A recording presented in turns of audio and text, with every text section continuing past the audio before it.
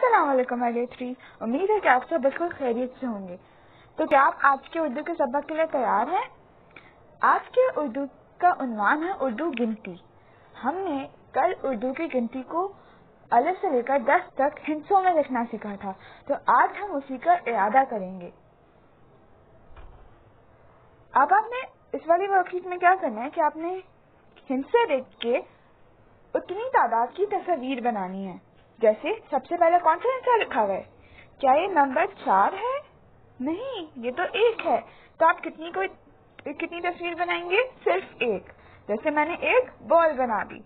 अब अगला हिस्सा कौन सा लिखा हुआ है? क्या ये नंबर आठ है? नहीं, ये तो नंबर दो है। तो हमें कितने, कितनी तस्वीर बनानी होगी किसी भी चीज़ की? दो। तो इस तरीके से मैंने दो स्टार बना दिए। अब इसी तरीके से आपने नंबर तीन नंबर चार और नंबर पाँच के लिए उनकी तादाद के मुताबिक तस्वीर बनानी है। अब बढ़ते हैं हमारी अगली वर्कशीट की जाने अब आपने क्या करना है? यहाँ पर हमने आपको तस्वीर दी हुई है। आपको इनको इनको तस्वीर के मुताबिक इनके हिंसे लिखने हैं। जैसे सबसे पहले वाले में कितनी कितनी तितली है? तितली तो सिर्फ़ एक है तो हम सिर्फ़ एक लिखेंगे। अब आगे कितनी मछलियाँ हैं?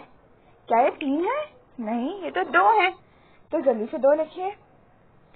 अब उससे अगली तस्वीर में कितने जहाज़ हैं? जी, तीन। तो जल्दी से तीन लिखिए। अब कितनी बतखें ओ, ये तो बतखें नहीं है।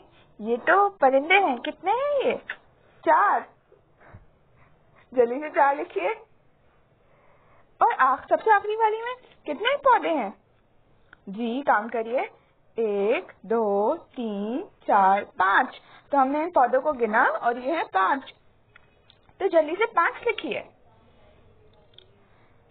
अब बढ़ते हैं हमारी अगले काम की जाने ये तो बहुत मज़े का लग रहा है। इसमें हमें क्या करना है कि हमें तस्वीरों को उनके हिंसों के मुताबिक मिलाना है। सबसे पहले देखिए, पहली वाली तस्वीर में कितने जहाज़ हैं? दो। और दो किधर लिखा हुआ है? जल्दी से दो से मिला दे इन्हें। गाड़ियाँ हैं। एक, दो, तीन, चार। अरे, ये तो चार हैं। जल्दी से इन्हें चार से मिला दीजिए। अब कितने कलम हैं? जी, गिनिए। एक, दो, तीन, चार, पाँच। ये तो बहुत प्यारे से पाँच पाँच कलम हैं। अब इन्हें जल्दी से नंबर पाँच से मिला दें। अब कितने सेब हैं? ये लाल सेब तो सिर्फ़ एक ही है। जल्दी से इसे नंबर एक से मिलाएँ। सबसे आखिर में कितनी लड़कियाँ हैं? जी, गिनिए ने एक, दो, तीन। तीन नंबर किधर लिखा हुआ है? जल्दी से उसे तीन से भी मिला दें अब बढ़ते हैं आगे की जानब। कितने घर हैं सबसे पहले वाली तस्वीर में?